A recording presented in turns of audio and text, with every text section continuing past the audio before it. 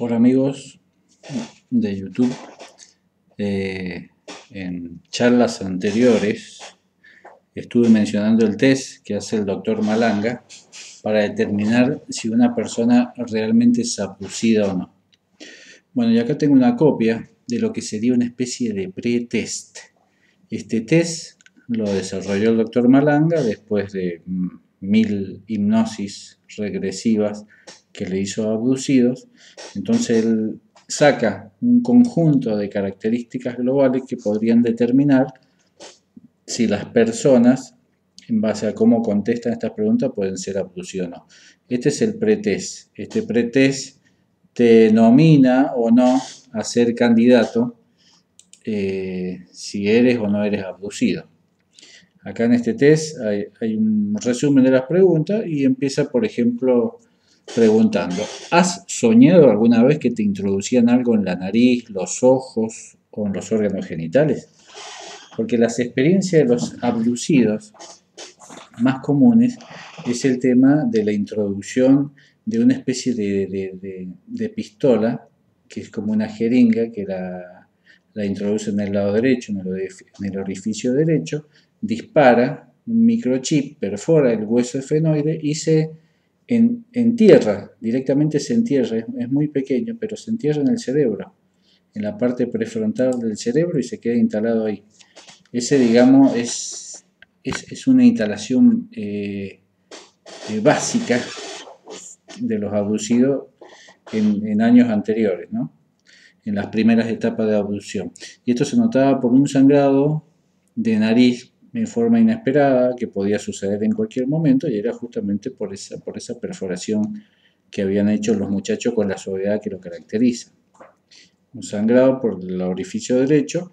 Después, acá pregunta si has soñado alguna vez, porque como esto queda registrado en el inconsciente, queda registrado como si alguna vez lo hubieras soñado. Vos has visto muchas, algunas películas de adopción que lo tienen al tipo planchado en la camilla metálica y se le acercan desde arriba toda una serie de elementos punzantes.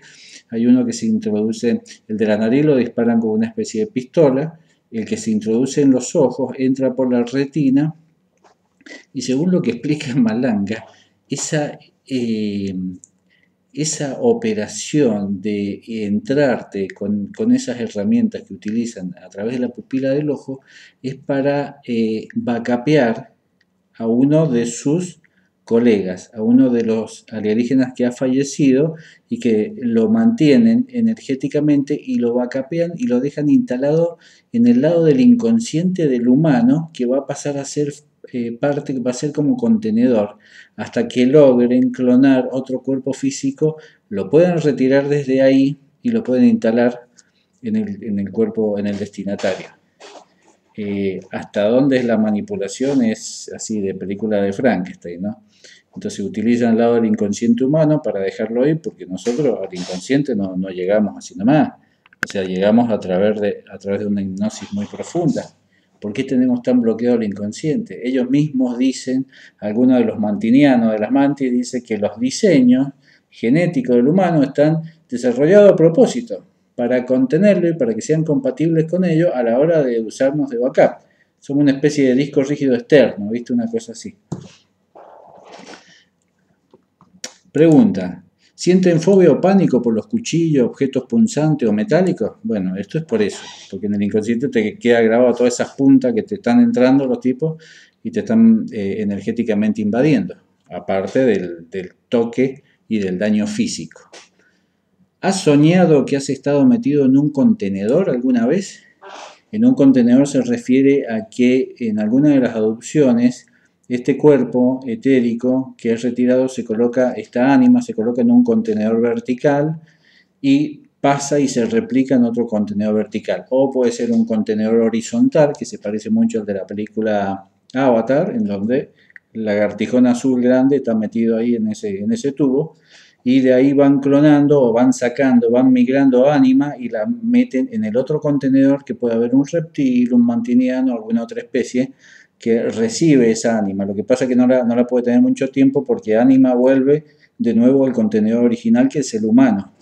Porque según ánima, el, destino, a donde lo meten, el reptil o otro ser, es muy oscuro para ánima, para el alma, para que esté. Entonces no está mucho tiempo ahí, se va y se vuelve de nuevo su contenedor. Después pregunta acá, ¿ha sangrado por la fosa nasal derecha? Bueno, esta es la pregunta justamente producida por el disparo de estos dispositivos. ¿Tiene, ¿Tienes alguna cicatriz en la tibia izquierda? Porque son lugares también que normalmente se colocaban estos dispositivos. ¿Has sentido zumbidos persistentes dentro de tu oído interno? Zumbidos, pitidos. Tengo esta cámara que está más rebelde que yo.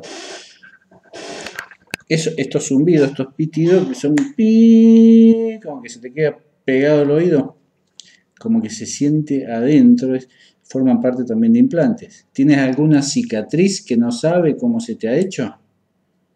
Hay muchas personas que yo he escuchado que dicen, ah, esta mañana me levanté, tengo un moretón acá, no sé de dónde salió. Yo también lo he tenido. No sé dónde carajo salieron. ¿Has soñado alguna vez con, ser, con un ser no igual a nosotros? Eh, eh, Malanga trata de ser sutil. No le puede preguntar al chabón, che, ¿soñaste con marciano? Porque el tipo sale corriendo, así de una, de entrada. Entonces, más sutilmente dice, ¿has soñado alguna vez con un ser no igual? Queda más fino. ¿Es el, re, el RH de tu sangre negativo? Tiene que ver el grupo sanguíneo también. ¿Sientes la necesidad de practicar técnicas de meditación por algún motivo que desconoces? ¿Te despiertas agitado en la noche con miedo, presintiendo la presencia de algo o de alguien en la habitación como si te observaran? Si tenés presentimiento de que es porque te entrar, ya está. Porque el momento, viste, llega el momento que Anima te despierta, dice, che, pará, acá están pasando cosas raras. Por más que Anima es media pelotuda, en su estado original, Anima no, valora que está en un contenedor y que el contenedor sufre, que el contenedor somos nosotros, que lo sufre en este mundo tridimensional. Anima viene acá a ayudar, a entregar su energía, eh, está como de joda acá en el universo. El tema es que nosotros somos el contenedor y ella tiene que tomar conciencia. Ánima tiene que hacerse consciente de lo que está pasando.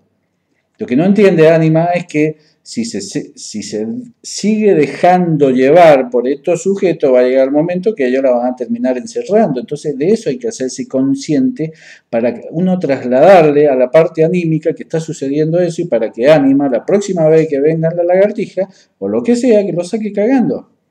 Por eso la toma de conciencia se basa en esto. Y para llegar a entender esto hay que quemar un montón de creencias que nosotros tenemos en el bocho. ¿Te sientes enojado o deprimido continuamente sin saber por qué? Y bueno, ahí están con el joystick los tipos manipulando. ¿Has soñado alguna vez con una persona como tú, como si fuera una copia de ti mismo? Esto es porque muchos inducidos dicen que cuando ellos suben a la nave, le bajan una copia y, la dejan, y le dejan instalada la copia en la cama por el tiempo que dure la, operación, 45 minutos, una hora, y después hacen el cambalache. Hay un movimiento de la mierda, lo que pasa es que nadie se entera. Entre las 3 de la mañana, 3.45 de la mañana, está todo el mundo dormido, ¿viste? Están todos moscas. ¿Has soñado o sentido que vinieras de otro planeta? Y sí, ¿quién no? ¿Has sentido alguna vez que no eres hijo de tus padres? Una pregunta comprometedora, que mamá y papá no se enteren. ¿Te has despertado alguna vez con la piel manchada de amarillo? ¿Has soñado con tener un hijo que no es de este planeta? muchas mujeres que son abducidas y que cuentan el implante en estado de hipnosis, ¿no? que cuentan el, relato de que son implantadas y que cada tres meses ese, óvulo que le implantaron y, que genera una especie de feto energético, lo retiran, les queda esa sensación y esa sensación le queda a través de los sueños. Es como le tiene una sensación de que haber soñado en un niño y, y y le queda ese sentimiento de que algo le retiraron, de que algo tenía. Entonces todo eso queda como sueño. Si, has contestado más de una pregunta positiva, deberías realizar el test, que es el que viene a continuación, que tiene como 90 preguntas, que lo vamos a dejar para, para otra oportunidad, y que acá dice, en esta página web, por ejemplo, que deberías enviar a la siguiente dirección de correo electrónico. Al que le interese, le puedo dar la dirección. Entonces, eh, si has contestado unas preguntas a esta dirección, donde será analizado y enviado directamente, será enviado directamente al doctor Malanga. En caso de ser un caso de abducción positiva, este resultado te será enviado y te y qué sé yo, en esta página web sale este mm, como que hay que jugarse un poco, qué sé yo, si esta B, Gabriela, yahoo.com tiene contacto con, capaz que la hija del doctor Malanga, pero qué sé yo. Por la duda, viste, no hay que creerle a nadie, ni de allá ni de acá, como es arriba es abajo. Pero bueno, acá hay alguien que pone la dirección donde será analizado y enviado directamente al doctor Malanga. En caso de ser un caso positivo de adopción, este resultado te será enviado y te dará la certeza de que eres abducido o poseído por una entidad interestelar. Mucha suerte con el test. La verdad que suerte, si te da positivo, esto de suerte no tiene una mierda. La suerte la tenemos en que más o menos nos estamos empezando a dar cuenta que a través de un acto de voluntad y de tomar conciencia, nosotros vamos a empezar a eliminar toda la implantación y los contratos que tenemos armados durante, que hemos armado en los últimos 10.000 años. O de vaya a saber cuánto carajo venimos reencarnando acá. la parte fundamental es la toma de conciencia. Eh, la toma de conciencia no tiene que decir, ah, sí, sí, yo, ah, sí, ya está. No, no, la toma de conciencia es la convicción. Yo estoy convencido, así como la gente religiosa que cree en Cristo y que cree en los santos y en las vírgenes, entonces tiene esa convicción de esa creencia, bueno, para zafar de todo esto, tenés que tener la convicción de que esto es así, de que esto funciona así y de que estos tipos, de que estos seres te tienen enganchado a través de hilos energéticos que no percibís, que vos recién percibís físicamente cómo te está yendo en tu vida por todo ese manejo. Entonces, lleva un poco tiempo para que tu estado de conciencia vaya dándole forma a esto, vaya internalizándolo y lo vaya digiriendo. Esto es una cosa que todos estos conceptos de malanga no son para que cualquiera lo digiera. Yo sé que acá los que ven esto son, bueno, la verdad que me sorprendí porque hay, mucha, mucha gente viendo los videos míos, pensé que le iba a ver, no sé, algún amigo mío, pero no, hay mucha gente interesada en esto porque hay mucha gente que evidentemente está tomando conciencia de que atrás de este circo hay todo un circo pero muchísimo más complejo. Y eso es lo que estamos tratando de averiguar.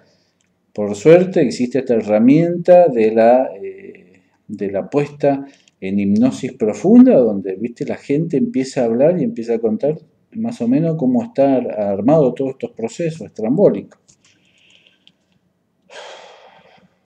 Es complejo, complejo.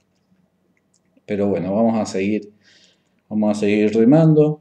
Por lo menos el doctor Malanga ha hecho un test, le ha dado forma a esto, ha hecho un test, te ha dado pauta de si sos un abducido y después tiene una serie de métodos y de posibles soluciones y de simulaciones mentales que te pueden llegar a desconectar con estos seres, que lo vamos a ir también evaluando y viendo más adelante cómo funcionan estos métodos, estos métodos de simulación mental para desprenderse también del enlace. Pero es fundamental el, concepto de, creer, de creer de, que esto es así, de tomar conciencia, pero tomar conciencia en un sentido real.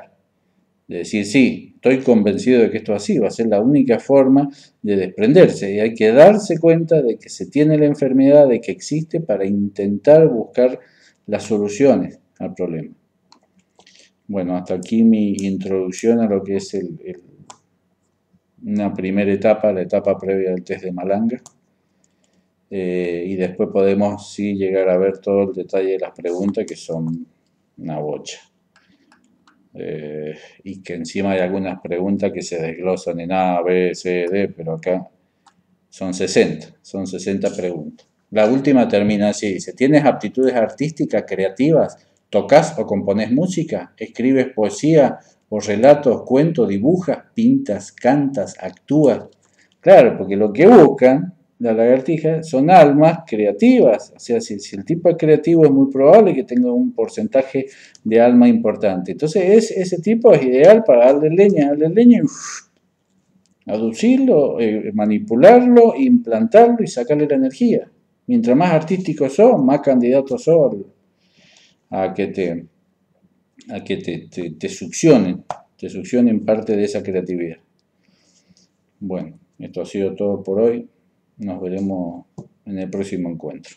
Adiós.